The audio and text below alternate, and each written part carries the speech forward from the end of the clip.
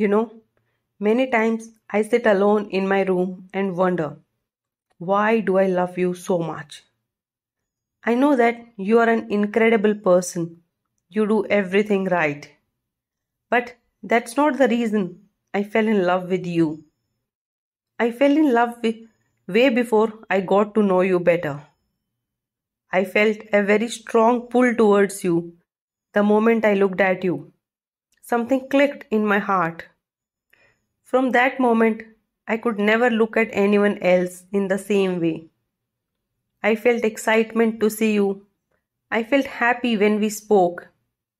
I felt like just talking to you forever. When you complimented me, I felt like this is the best day of my life. I fell in love with your kind heart. I fell in love with your positive aura and your warm nature. You were absolutely stunning, even when we first met, but your looks were not what attracted me. It was your beautiful smile and the way you treated people around you. I respected you even before I fell in love with you. As I got to know you better, I realized that I have hit a jackpot because you are the best person that I have ever met till now. I'm not saying you didn't have any bad habits or faults because you did, just like every other person. But you had a very forgiving heart and a very sharp brain. I would often feel amazed at the way you thought about things.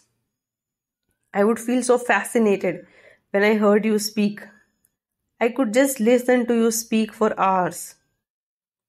Don't get me started on your melodious laughter.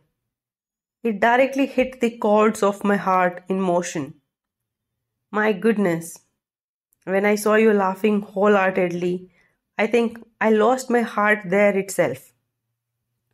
I felt happiness within me to see you being happy and joyful.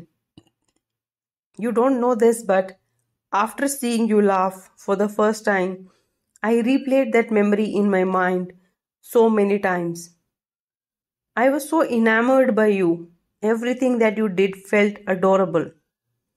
I couldn't help but fall more and more in love with you.